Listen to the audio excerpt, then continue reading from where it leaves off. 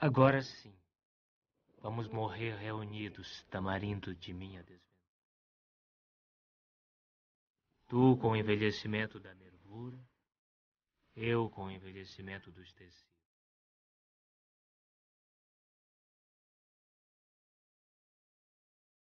Ah, esta é a noite dos vencidos e a podridão,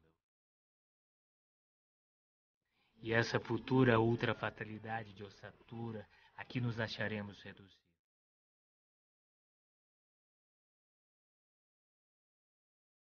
Não morrerão, porém, tuas sementes. E assim para o futuro, em diferentes florestas, vales, selvas, glebas, trilhos, na multiplicidade dos teus ramos, pelo muito que em vida nos amamos, depois da morte ainda teremos filhos.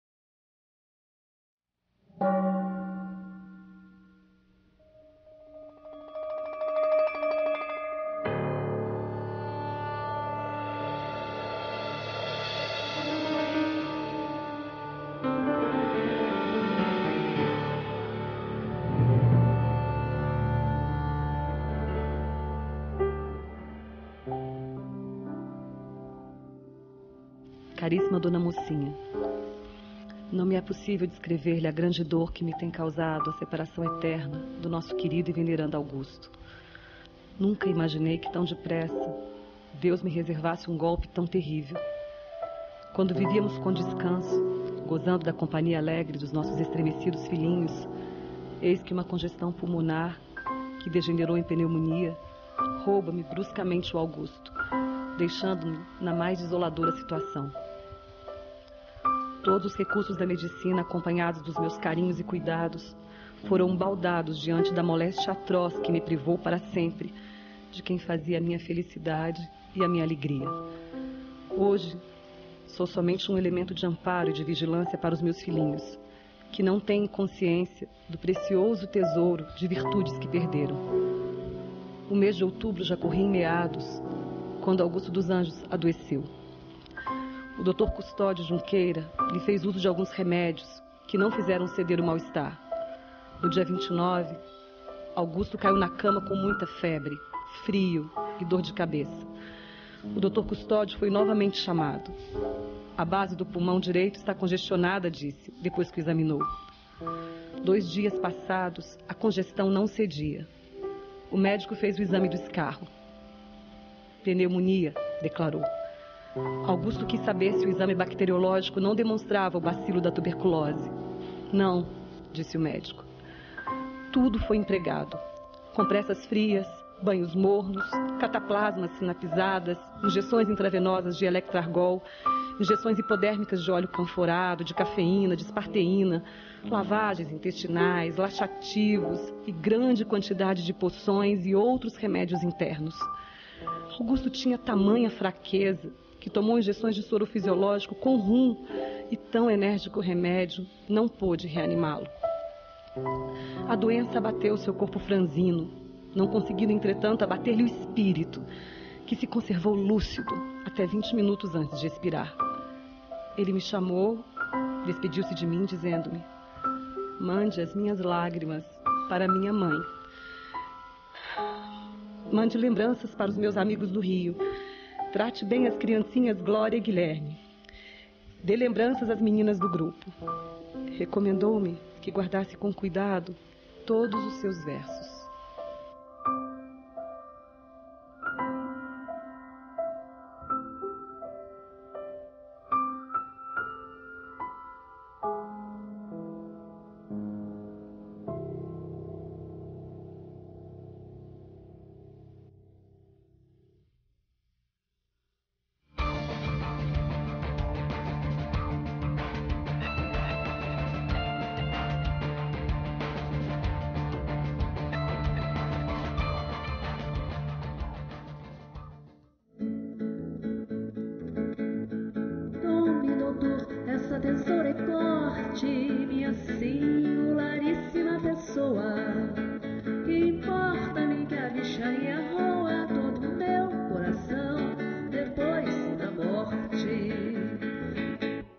Personagem, o eu, o eu poético, digamos, o eu lírico do Augusto dos Anjos, é do homem que torturadamente vê toda a dor universal.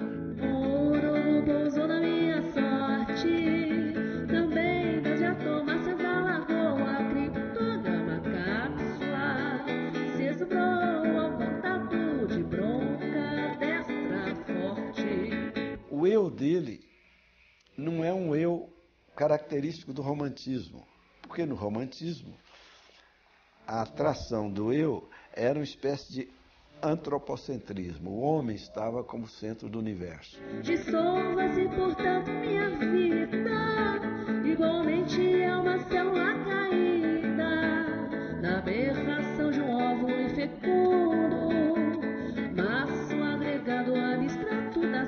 saudades, fique batendo nas perpétuas grades, no último verso que eu fizer no mundo.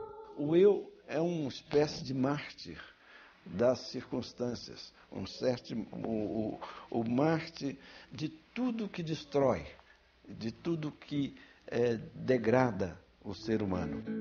Tome, doutor, essa tesoura e corte. Tome, doutor, essa tesoura e corte. Tome, doutor, essa tesoura e corte. Minha singularíssima pessoa. Então, um eu diferente é um eu agônico, um eu, um eu que luta para se exprimir e, muito interessantemente, O ar ambiente cheirava a ácido acético. Mas de repente, com o ar de quem empesta, apareceu escorraçando a festa a mandíbula inchada de um morfético.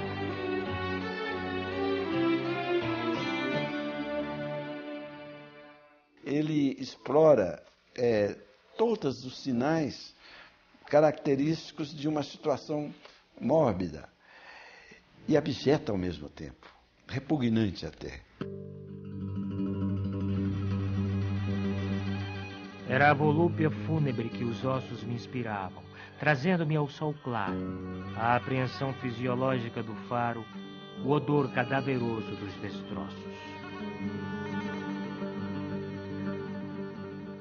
É uma poesia de espanto, né? uma poesia de, de coisas fúnebres. Cismava no propósito funéreo da mosca debochada que pareja o defunto no chão frio da igreja e vai depois levá-lo ao cemitério. Augusto dos Anjos não tem sutilidade nenhuma. Augusto dos Anjos é um, é um, é um, é um meteorito que cai na tua cabeça. Em torno de mim, nesta hora, estriges voam. E o cemitério em que entrei adrede dá-me a impressão de um boulevard que fede pela degradação dos que o povoam. Nos mostrou como são as fezes e a bilis e o catarro e o pus que há dentro de cada ser humano. o Evangelho da Podridão, eu destaco, inclusive, é, que essa identificação do leitor com Augusto vem de que o, que, o tema, basicamente, de Augusto é o pecado original, é a culpa da, do ser humano, da humanidade. Como ama o homem adúltero, o adultério, e o ébrio, a garrafa tóxica de rum, ama o coveiro, este ladrão comum que arrasta a gente para o cemitério. O Augusto sempre teve essa fama do poeta da morte. É o transcendentalíssimo mistério. É o nos, é o pneuma, é o ego sum qui sum. É a morte. É esse danado número um que matou Cristo e que matou Tibério.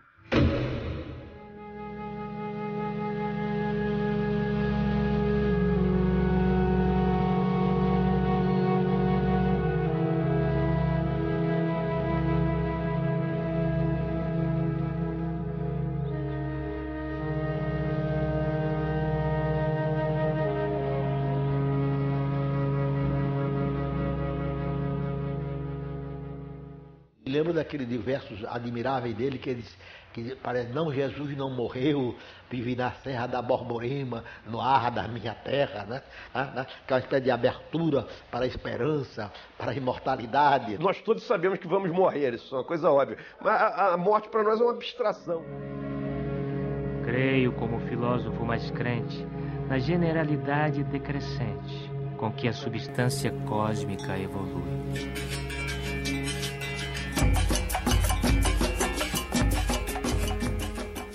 Medo que ele tinha, não apenas o medo pessoal, mas até o medo cósmico, o medo universal. Numerar sepulturas e carneiros, reduzir carnes podres a algarismos. Tal é, sem complicados silogismos, a aritmética hedionda dos coveiros. Augusto dos Anjos é um poeta exato, porque o poeta se exprime com as palavras necessárias. Dois, três, quatro, cinco esoterismos da morte. E eu vejo em Fuge dos Letreiros, na progressão dos números inteiros, a gênese de todos os abismos. Mais do que a atração pela morte, Augusto dos Anjos tinha horror à vida.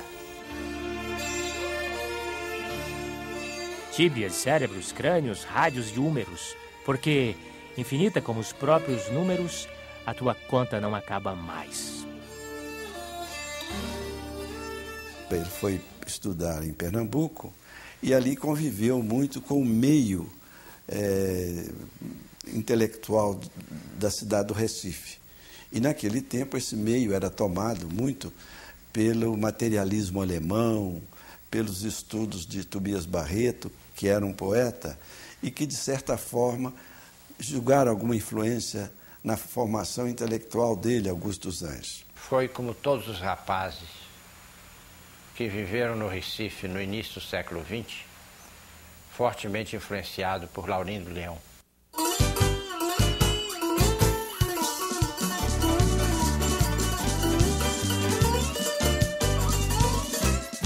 Laurindo Leão foi um filósofo, professor da Faculdade de Direito, monista, que influenciou profundamente todos os alunos que estudaram com ele. Vou começar por Augusto dos Anjos. Ele tem um verso Recife, Ponte Buarque de Macedo, né? Apenas esse verso, né? É uma, quase uma iluminação do, do Recife. Recife, Ponte Buarque de Macedo. Eu, indo em direção à casa do Agra, assombrado com a minha sombra magra, pensava no destino e tinha medo eu indo em direção à casa do Agra, que é uma casa funerária. Então já, você já descortina o temperamento macabro, soturno, melancólico, assombrado com a minha sombra magra, né? com essa literação. Né? É um poeta que eh, de espanto, espanto de si mesmo, espanto dos outros, é uma poesia de espanto, né? uma poesia de, de coisas fúnebres e, e, eh, pensava no destino e tinha medo. Né? Já, outro, outro verso muito autobiográfico, o medo que ele tinha, não apenas o medo pessoal, mas o, até o medo cósmico, o medo universal. Ah, com certeza Deus me castigava. Por toda parte, como um réu confesso, havia um juiz que lia o meu processo e uma forca especial que me esperava. É bem possível que eu um dia segue, no ardor desta letal torre da zona, a cor do sangue é a cor que me impressiona e a que mais neste mundo me persegue. Tem um verso em cima do destino que ele fala, ele fala que no delírio dele, o, o estômago esfaqueado de uma criança. Essa obsessão cromática me abate.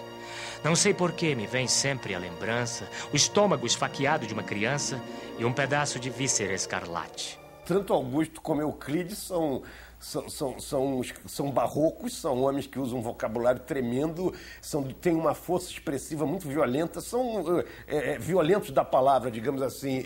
Prostituição ou outro qualquer nome, por tua causa, embora o homem te aceite, é que as mulheres ruins ficam sem leite e os meninos sem pai morrem de fome.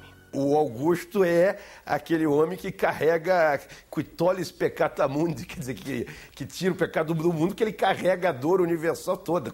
Nisto, pior que o remorso do assassino, reboou tal qual num fundo de caverna, numa impressionadora voz interna, o eco particular do meu destino. Ele era de uma família da aristocracia rural paraibana, o pai dele era um homem letrado, né? de modo que ele desde a infância ele ouviu falar em Haeckel, em Spencer, em Darwin, né? em Booker, né? em Augusto Conte, etc. Eu queria correr, ir para o inferno, para que, da psique, no oculto jogo, morressem sufocadas pelo fogo todas as impressões do mundo externo. Ele tem uma, uma visão de mundo que é decorrente das leituras dele e um pessimismo também do Schopenhauer. Tenho a impressão que Cesário Verde foi a influência mais marcante na poesia de Augusto dos Anjos.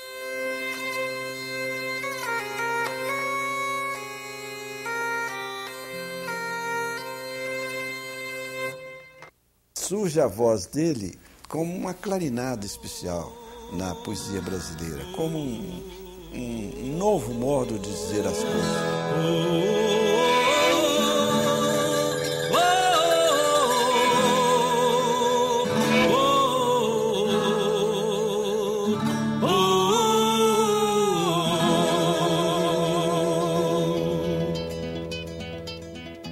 Que voz é esta que a gemer concentro no meu ouvido e que do meu ouvido, como um bemol e como um sustenido, rola impetuosa por meu peito adentro? É um erro imaginar que ele seja um poeta frio. Ele é um poeta quente, ele é um poeta da emoção. Ele é um poeta que fala direto ao coração de quem diz e de quem ouve a poesia dele. Penetro, agarro, asculto, apreendo, invado, nos paroxismos da hiperestesia, o infinitésimo e o indeterminado. Transponho ousadamente o átomo rude e, transmudado em rutilância fria, encho o espaço com a minha plenitude. O Drummond é, tem um texto, é, se não me engano, dos anos 70, que é um espetáculo, onde ele fala do choque que ele levou quando ele leu Eu. Quer dizer, que pela primeira vez na vida ele vê como um homem podia fazer altíssima poesia com palavras estranhíssimas. Ele termina falando: Augusto dos Anjos continua sendo grande caso singular da poesia brasileira. Há em Augusto um desejo assim de, de refazer a humanidade. Sou uma sombra. Venho de outras eras, do cosmopolitismo das moneras, pólipo de recônditas reentrâncias.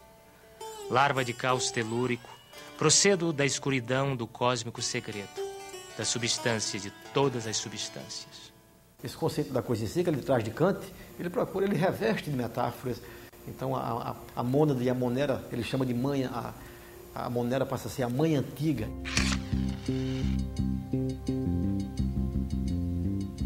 E afogo mentalmente os olhos fundos na morfia da cítula inicial, de onde, por epigênese geral, todos os organismos são oriundos.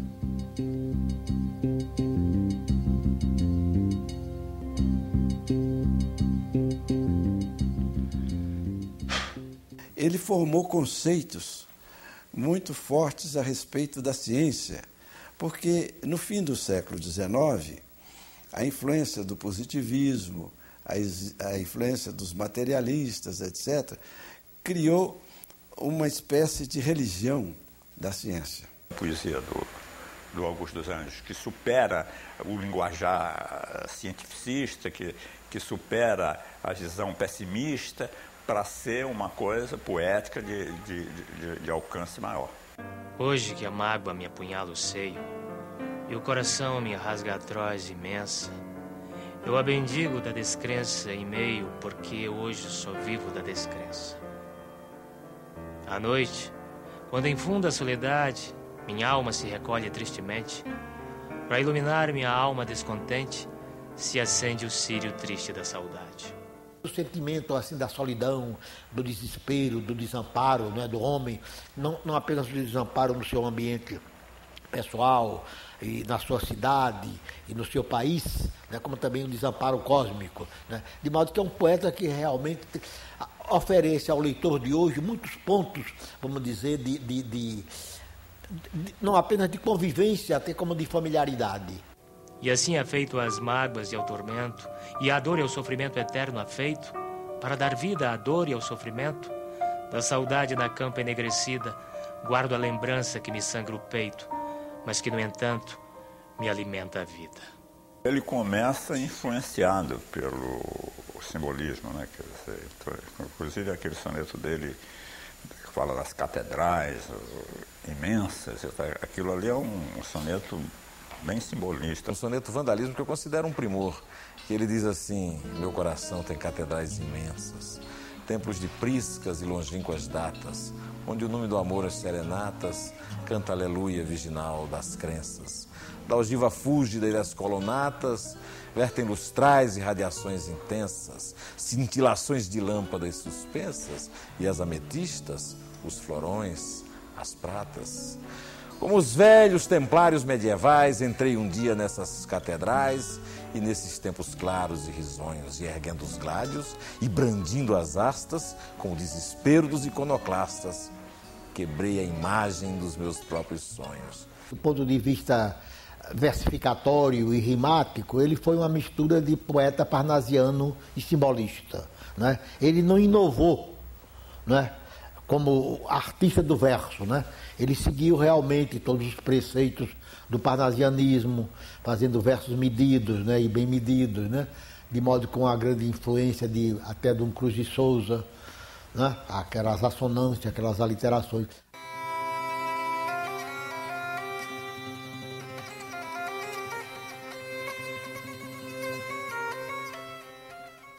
Augusto sai diretamente do Cruz de Souza. Você eh, pega os primeiros é, sonetos, sobretudo Augusto dos Anjos, é, é, o andamento perfeito dos, dos últimos sonetos do Cruz de Souza.